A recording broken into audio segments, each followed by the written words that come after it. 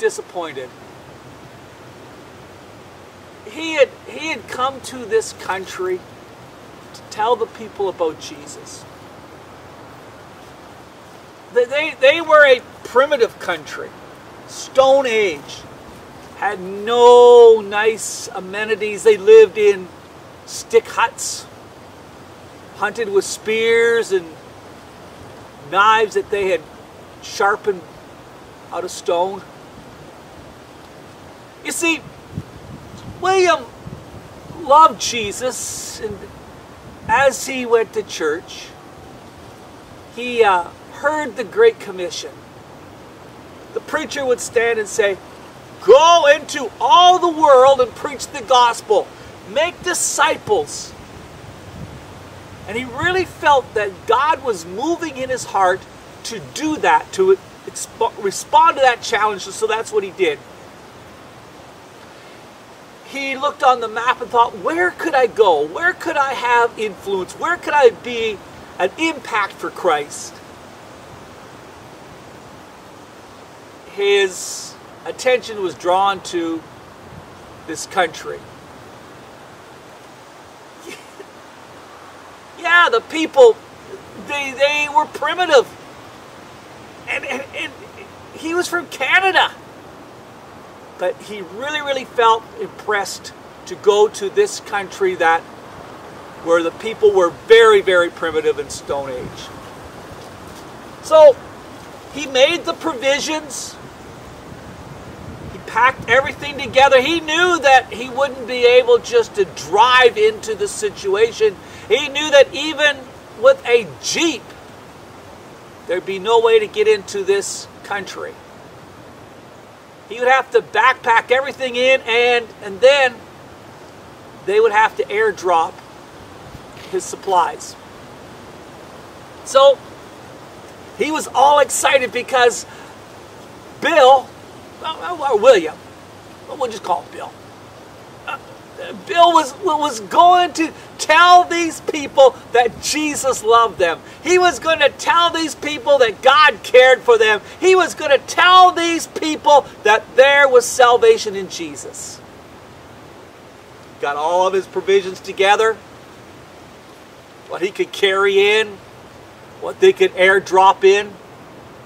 He got in there, and the first thing that he did was he went to the chief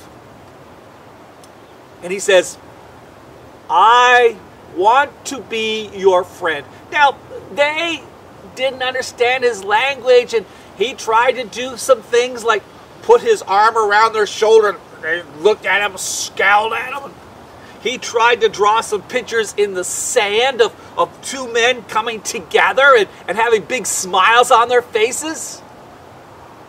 He tried doing these things here to show that he was a friend and that he was going to be here for a while. And what he would do is he would got his axe and he was clearing out the bushes and he made himself a nice little camp backpack was up there. Yeah, his knife was there. He, he didn't want to show the knife too often because he didn't want these people to think that he was an enemy. But he used it to uh, skin the, the animals that he caught, the fish that he caught.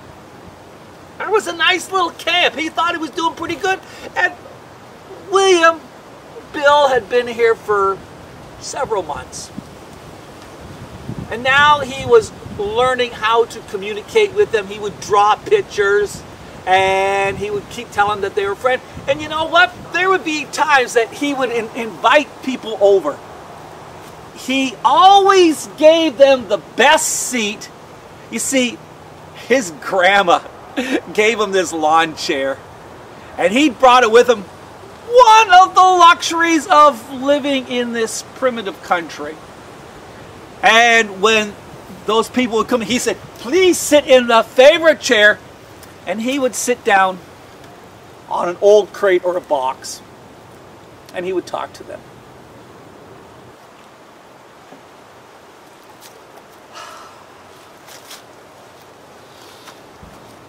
Once they realized that Bill was going to be there for a while, they would come over and they would try to communicate, and Bill was starting to learn some of their words. Finally, he thought, I need to tell them the real reason I am here. So he gathered them all together and he says, I want to tell you about the Great Spirit. I want to tell you about God. You see, we've all done wrong things. Now, this primitive people, they were accustomed to killing people. They were accustomed to even eating people. They were filled with hate. They were, they were filled with murder. And Bill was saying, you know, we've all done wrong things, but Jesus, God's Son, came and he paid the price. He was nailed on a cross. And all of the men that were sitting around the camp, nail? What's nail? See, they'd never seen a nail before. And uh, Bill says, well, it, it's a, a little piece of hard metal. Eh, yeah, it's a little piece of hard thing that's really, really sharp and will go through a man and hold him on a tree. they laughed because they had never seen a nail before. How could a little tiny piece of something hard hold a man on a tree? Couldn't figure it out.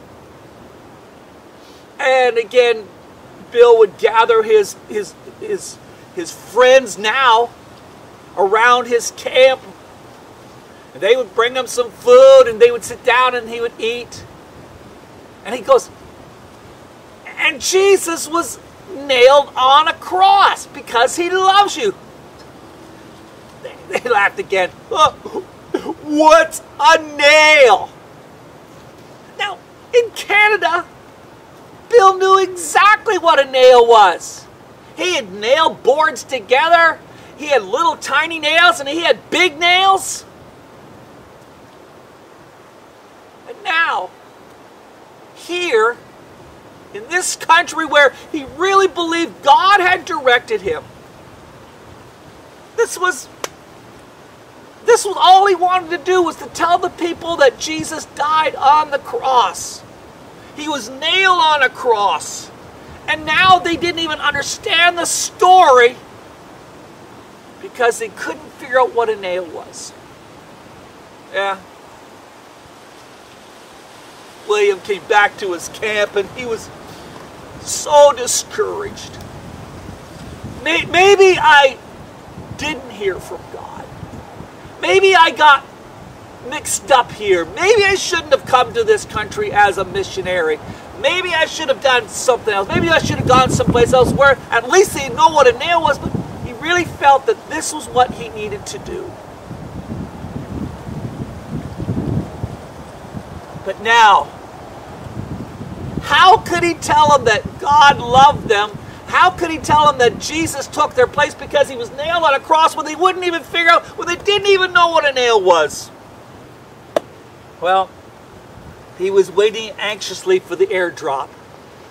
And they dropped it out of the sky. They had a parachute and they would lower down. And, and all of his friends now from this country, they're all excited because in the airdrop, there would be like buttons and there would be ribbons and, and uh, even some sharp knives or even an axe, which they really, really liked because it was a whole lot better than an old stone piece of uh, stone axe. And so when the airplane would come in and drop the airdrop, all of his friends now would gather around. What's in the crate? What are we going to get? And Bill was thinking, what supplies will I have today? Well, the airdrop came and all of his friends gathered around and, and they grabbed the crate and they brought it into the area there and yeah, Bill would like hang up the old parachutes, kind of made sort of like a tent. Uh, well, Bill brought the crate back to the camp there, and everybody was excited, so he opened up the crate. Ah, there was some new things in there. There was a, a blanket. There was a clean shirt. And as he went through the crate, and at the bottom of it, somebody had sent him a can of pop. Man, has he ever missed a can of pop? So he opened it up there. Ah, it was good. He offered it to his other friends. He says, he says, do you want to try this? And they, oh, they made a face because they weren't used to like the sweet water. They would much prefer to just get the water from the river and drink it. But Bill, can of pop, man, this is like cold water on a hot day. This was like an oasis. Somebody was thinking about him. Here he was in this country where there was no running water and there was no electricity and there was no telephones. But somebody had given him a can of pop.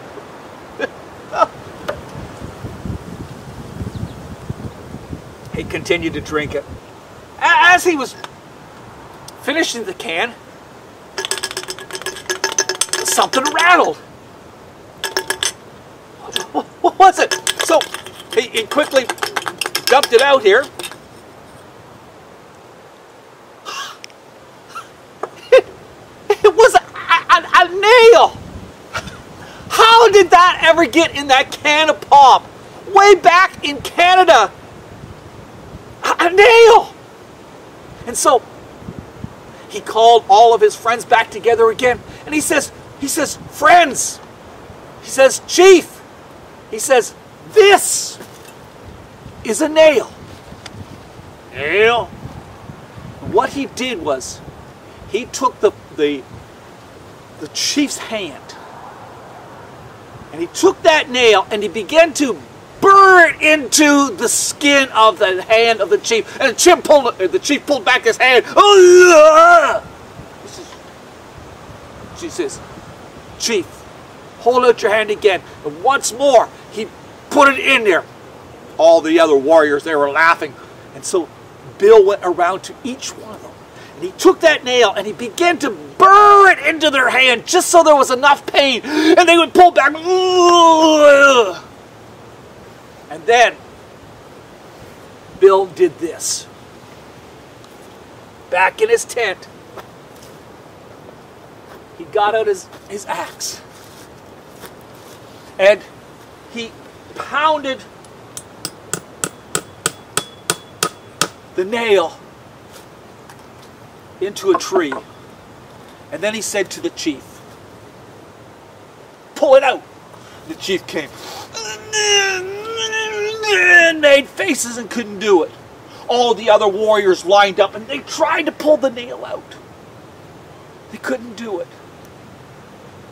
And Bill said, they took a nail and they took something heavy and they drove it right through Jesus' hand.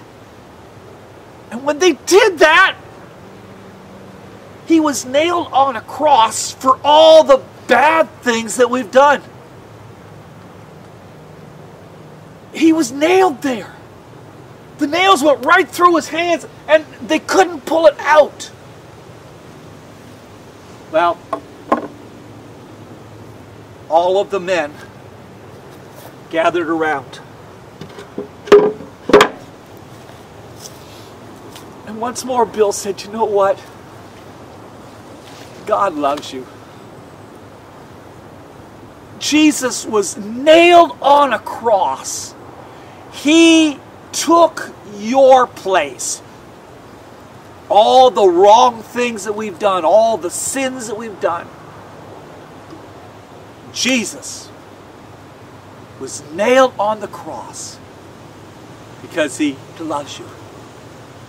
Well, from that moment on, things began to change and the people, his friends would gather around his camp and they were listening more and more to their stories. Yeah, they would bring him food and Bill was realizing this is where God wants me to be. And however long it takes me, I am going to serve God here. But he kept thinking, how? How did that nail get in that can of pop? Well, all he could say was, it was a miracle that that nail got in that can of pop. I don't know how to do it, but God, you provided that nail so that these people who've never heard about you except when I came here, these people learned about you. God, I want to thank you.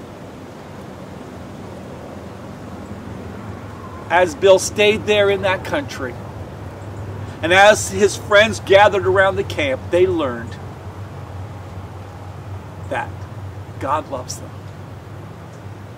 And Bill stayed there for the sake of a nail.